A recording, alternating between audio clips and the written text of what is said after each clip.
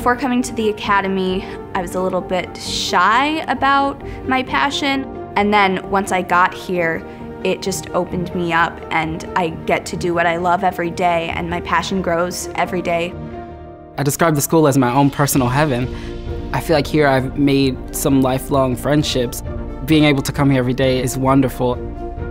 I love being surrounded by people that inspire me every day, the students and the faculty, because there are amazing things being created behind every door.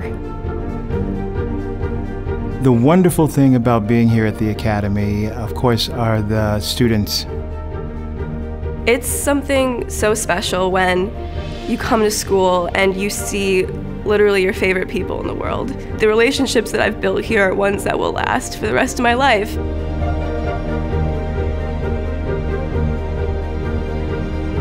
The community is so small and you get to know everyone so quickly and then they become your family. It's very close.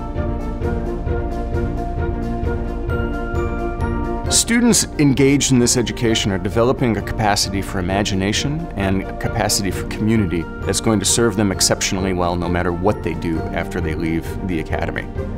Learning how to directly engage in the process of physicalization through art is probably the most valuable thing I'm going to carry with me after I leave this school.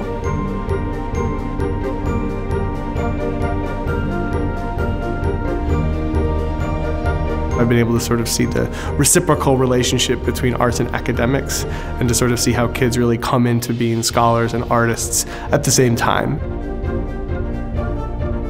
What I love about the Academy is the fact that we can have academics in the morning and then go right into art so I can do my math classes and my science classes and then go do what I love in the afternoon. I feel super prepared going into college that I'll be able to handle the workload, that I'll be able to still make art, and I'll have a great foundation to do both. You're younger, but you're one step ahead of everyone else, and, and that just sets you already on a better path to do what you want to do in life. We know that artists who are good students also make students who are great artists.